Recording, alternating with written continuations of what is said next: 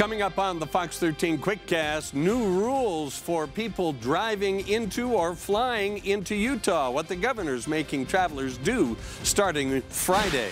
Doctors from two of Utah's largest healthcare systems are taking a big step in fighting COVID-19. And the unforgettable way people said their last goodbyes to a Cache County school bus driver. This is a Fox 13 Quickcast. Nothing official yet, but it looks like Utah students will not be returning to classrooms anytime soon. Lieutenant Governor Spencer Cox says there is only a slight possibility, quote unquote, of having school in May. That's tough. For high school seniors, many will miss the formal traditions that come with this once in a lifetime moment high school's hard. And so the end goal is just being able to graduate and go to prom and like do all that fun stuff for the last time and now we don't get to do that. Our hope certainly is that uh, that we'll be able to return to uh, something approaching normalcy um, as the uh, as the, the, the next school year approaches, and uh, we certainly believe that that's going to happen. Abby says the sacrifice will be worth it if it helps defeat the coronavirus sooner. To be clear, no official word yet about the end of this school year and graduation ceremonies. Starting Friday, people driving into or flying into Utah will have to fill out a travel declaration about where they've been. It's part of a new executive order from Governor Herbert to slow the spread of COVID-19. This travel declaration will ask travelers if they've been tested for COVID-19, uh, particularly in the last 14 days, and what the test results are. The governor also urges Utahns not to travel this Easter and spring break. He says stay home, flatten the curve, and remember social distancing. Researchers with Intermountain Healthcare and University of Utah Health have begun clinical trials for hydro hydroxychloroquine and azithromycin as a way to fight COVID-19. Those drugs are normally prescribed for lupus, arthritis, and malaria. And how quickly we have answers depends a little bit on how quickly the Utah community participates in this study. Researchers plan to enroll nearly 2,300 patients in the trials who have or may have had or may have COVID-19. Kristen.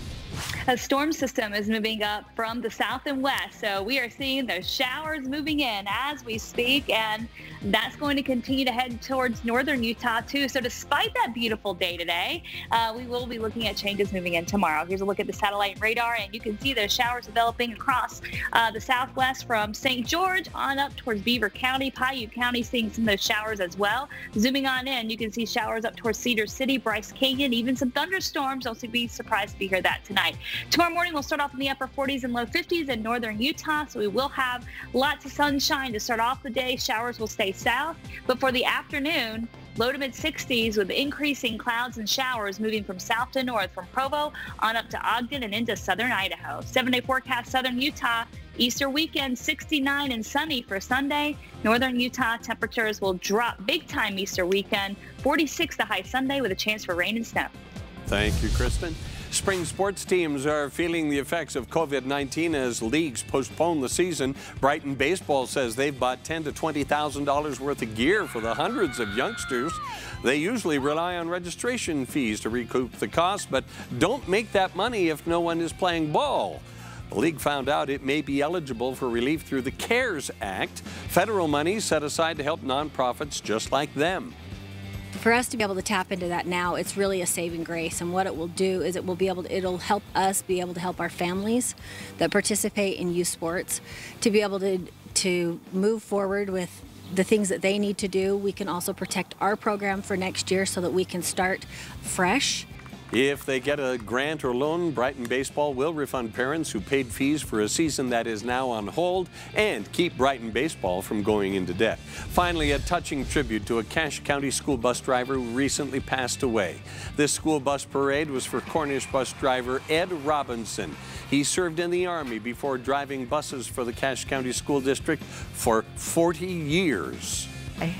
And we thought it would never be this wonderful, but I think Dad's in heaven, just loving it. Mm. Ed is survived by his wife, three daughters, 11 grandchildren, and 25 great grandchildren. Ed was 84 years old. That's the Fox 13 Quickcast. The day's top stories in just five minutes. Don't go anywhere. Modern Family starts now.